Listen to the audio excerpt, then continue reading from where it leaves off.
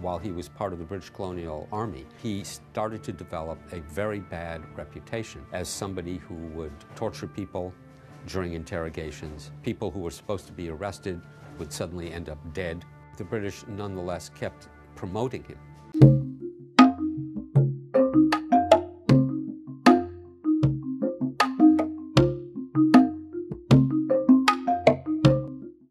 Good day, everyone. This is Daseto, the most handsome, yakable, Africanicious, adrenaline pumping, Efizi Pawon husband.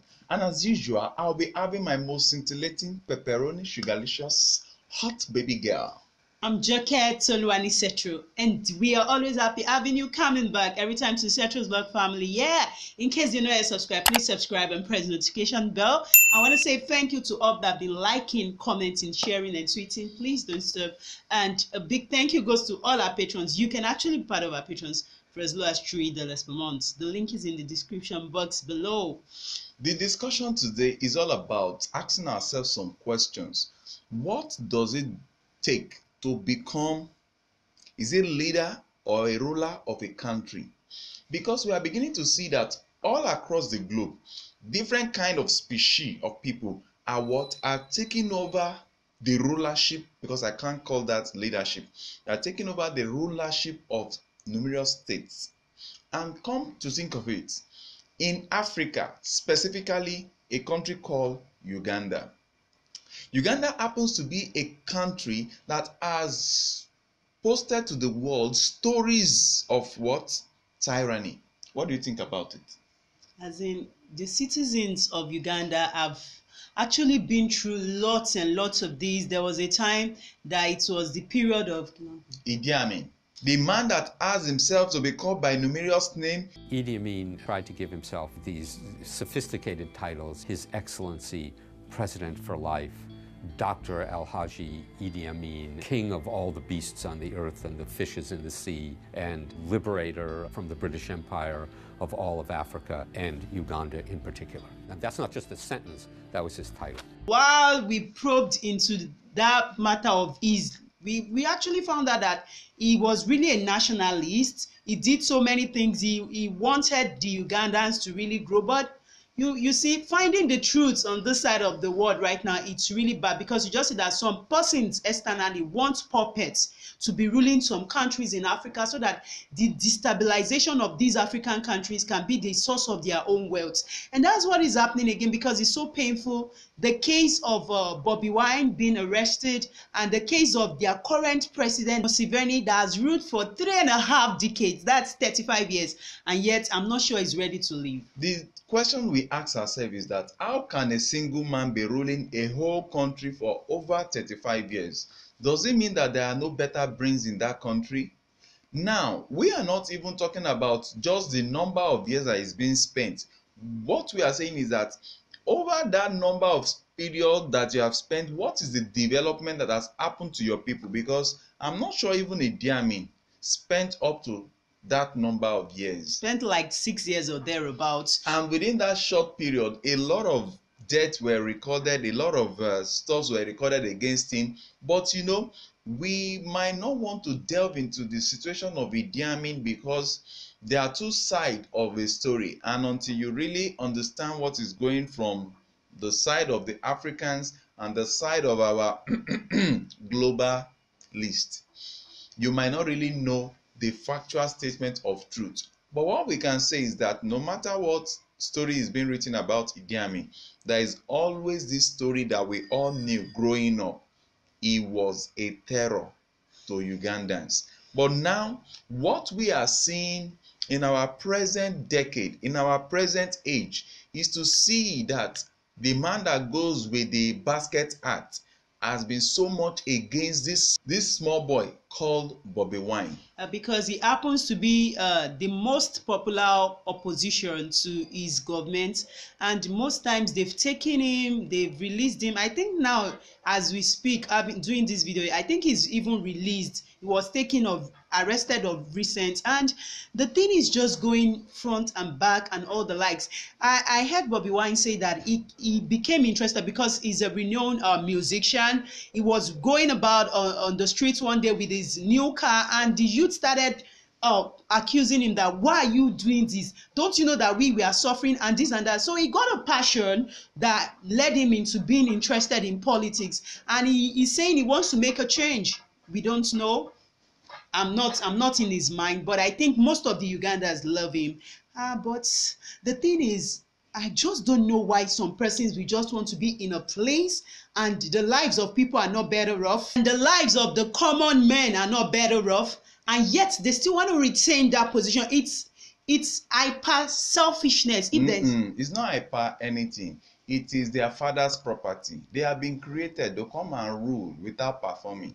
And that is why we will continue to say to all African rulers that are just what? That they have been cursed with the spirit of sit down there and die. Please, you might just need to rethink. It is high time we give space to those people in Africa should learn to resign when they are not performing.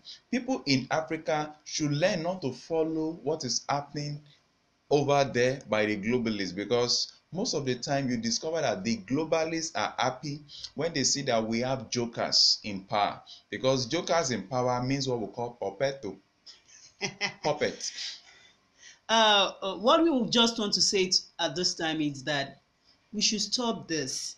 Uh, to all Ugandans, we see some persons are losing their life in the in this unrest and so many other things like that. And I will also want to cut in here, in case this video gets to Bobby Wine, I will want him to let us know more. Let your people know more about your economic plan for them, because there is a different ball game between when you are popular and people are pursuing after you they are running after you like this trying to make sure that you get into power and you get into power and really doing the desire the wish of the people the common people now because if there is anything Bobby Wine should also learn whenever you get to the seat of power most often than not you are surrounded with 99 percent capital letter jokers people that will not tell you the truth of what is going on in the economy.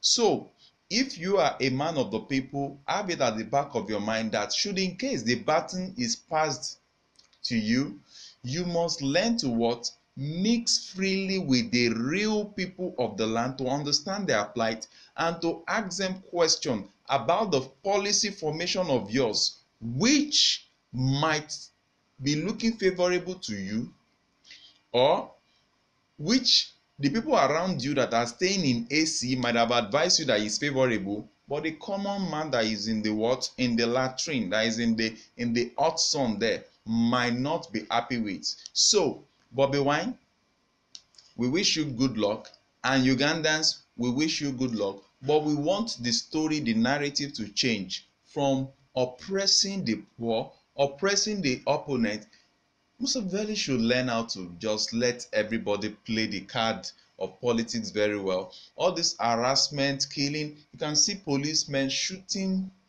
sporadically. Can I wait to say why are you recording us? Look at him. Look at him. Look at him that is totally uncalled for. Uh, uh, as in this thing, this trend is just going from one African country to another. The other day it was Ivory Coast. The other day you see uh, which other country and different countries in Africa are just having uh, people that don't want to live and people that prefer that the blood of the common men should be shed for them to keep on ruling. And when all the citizens are dead, please tell me, who are you going to rule? That is the exact question I wanted to ask because if you are true with killing all your citizens, then you want to be president over what? Over chairs, mosquitoes, chicken, chicken, unload.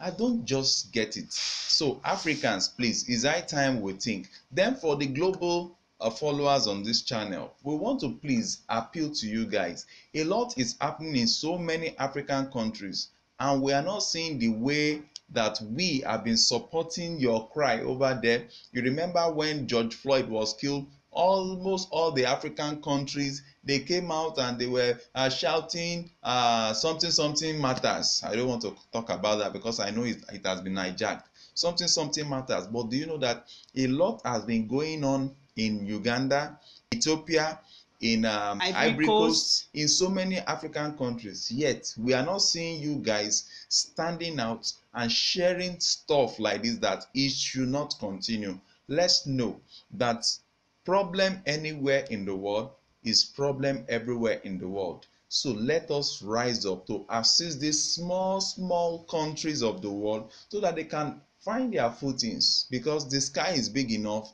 for us to fly if we can only experience peace all around.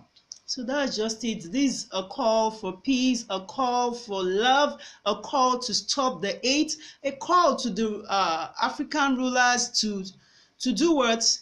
To, to, to, to, to let go and let God have its way. Yeah, that's how I want to put it. Let the right people be there. It's high time we stop putting square pegs into round holes we we we should do things right the right people should be allowed to be there and the people that are coming there to they should not just go on blank check you should have your uh, plan set out that this is what i'm going to achieve and make sure that you cut away the middlemen the middlemen go directly to the grassroots go directly to the populace to the poor people and by the time you do this we are going to have a better africa And as we wrap up, in case you are an African youth based in Uganda or you're an Ugandan, or is that how they call it?